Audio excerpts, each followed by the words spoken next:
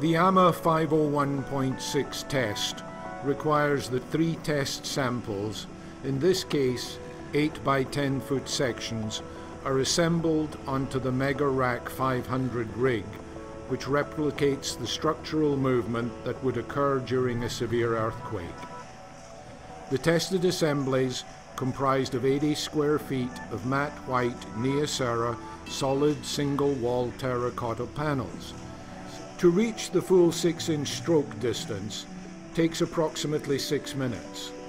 Of the many different structural wall assemblies, only a few that have been tested to AAMA 501.6 on the Megarack 500 ever make it to the full 6 inch of stroke distance.